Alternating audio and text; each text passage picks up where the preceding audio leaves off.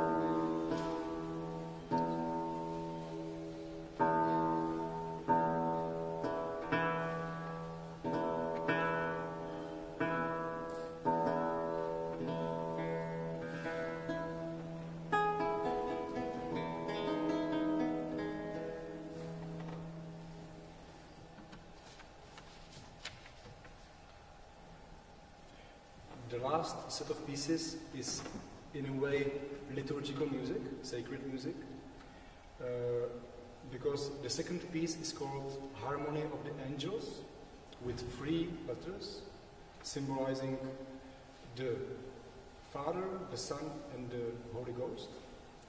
And the last, Chaconne, is uh, very not traditional.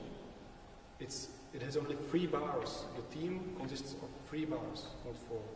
Again, the symbol of number three.